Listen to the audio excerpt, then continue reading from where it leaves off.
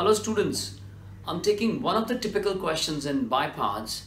So otherwise by parts is very simple, but sometimes it becomes difficult to set the approach of the question. So we're taking one such question. Evaluate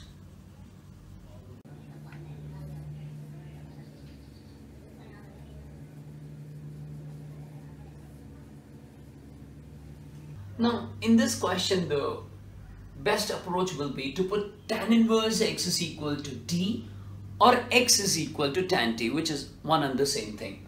So we put tan inverse of x is equal to t, but why are we putting this?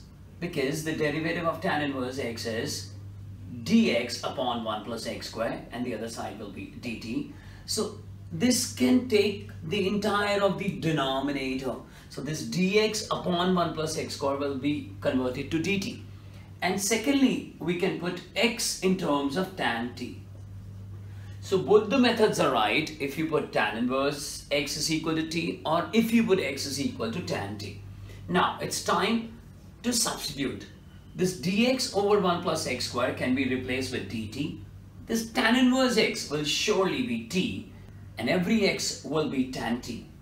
So this is e to the power t, 1 plus tan t, tan square t dt.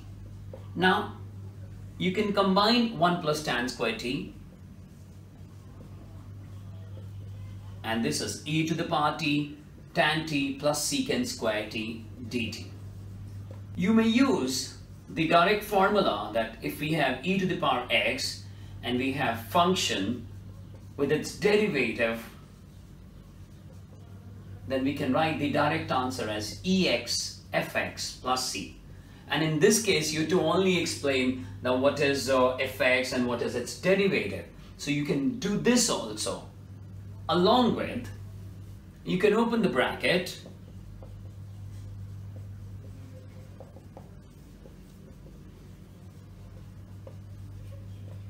And since secant square t is the derivative of tan t, so you open this as by parts. So by expanding this as by parts,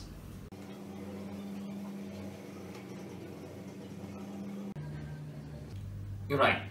First function tan t as it is, integration of et is et, minus the whole integration of derivative of tan t is secant square t into the integration of et is et dt. And you can see that now we have additive inverse, so the two will be cancelled and we are left with et tan t.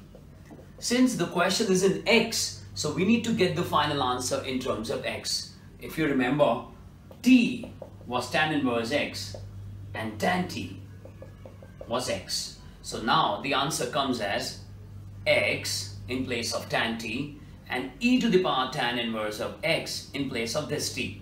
So the final answer is x into e to the power tan inverse of x plus c. So by appropriate approach, you can crack the typical questions.